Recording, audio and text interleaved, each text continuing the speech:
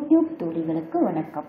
இன்னைக்கு நம்ம சமையல் ரெசிப்பியில் என்ன பார்க்க போகிறோன்னா ஒரு இட்லி சாம்பார் பாசிப்பருப்பு வச்சு பார்க்க போகிறோங்க சூப்பராக சிம்பிளாக செம்ம அடிபடியாக இருக்கும். இந்த சாம்பார் இட்லி தோசையோடு சாப்பிட அவ்வளோ டேஸ்ட்டாக இருக்கும். அதுதான் நம்ம பார்க்க போகிறோம் அதுக்கு தேவையான பொருள் நான் என்னன்னு சொல்கிறேன்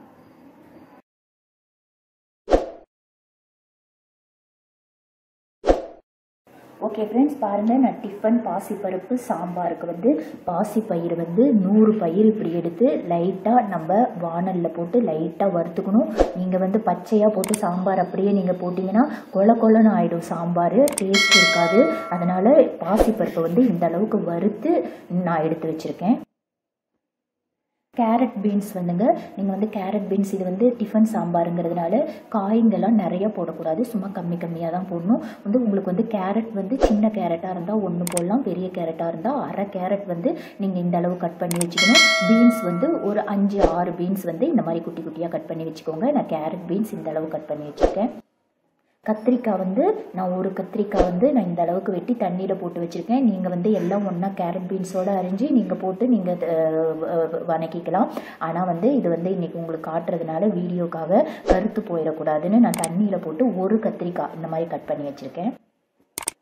சின்ன வெங்காயம் ஒரு பத்து சின்ன வெங்காயம் இந்த மாதிரி உரித்து முழு சின்ன வெங்காயமாக எடுத்து வச்சுருக்கேன்.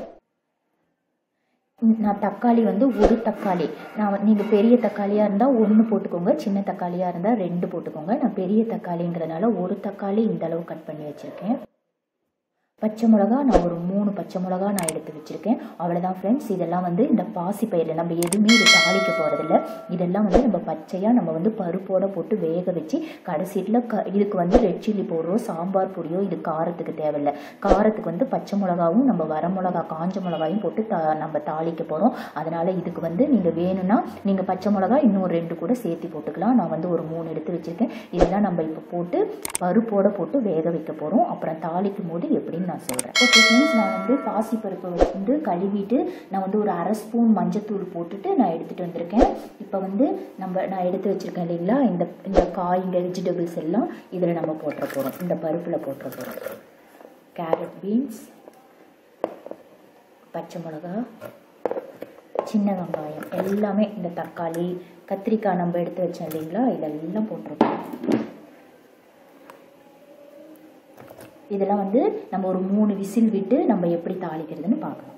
ஓகே ஃப்ரெண்ட்ஸ் நம்ம பாருங்கள் ரெண்டு ஸ்பூன் எண்ணெய் ஊற்றி காஞ்ச மிளகா போட்டு ஒரு ரெண்டு காஞ்ச மிளகா போட்டு இப்படி கருக விட்டுட்டு இப்போ கடுகு போட போகிறோம் கருவேப்பிலை ஓகே ஃப்ரெண்ட்ஸ் பாருங்கள் நம்ம போட்ட இந்த பருப்போட நம்ம போட்ட வெஜிடபிள் எல்லாம் வெங்காயம் தக்காளி எல்லாம் எப்படி வெந்துருச்சு பாருங்கள் ரொம்ப சிம்பிளாக ஒரு மூணு விசில் விடுங்க. இப்போ வந்து நம்ம இதை தாளித்து வச்சோம் இல்லைங்களா? இதை வந்து இந்த பருப்போட கொட்டி இன்னும் ஒரு விசில் மட்டும். ஏன்னா இந்த தாளிச்சதெல்லாம் சாம்பாரோட சேரணும் அதனால் இதுக்கு வந்து நீங்கள் தேவையான அளவு நீங்கள் தண்ணி ஊற்றிக்கலாம் பாருங்கள் இப்போ வந்து இன்னும் ஒரு விசில் விட்டு நம்ம எடுத்துகிட்டா நம்மளுக்கு டிஃபன் பாசிப்பருப்பு சாம்பார் ரெடி ஆகிடும்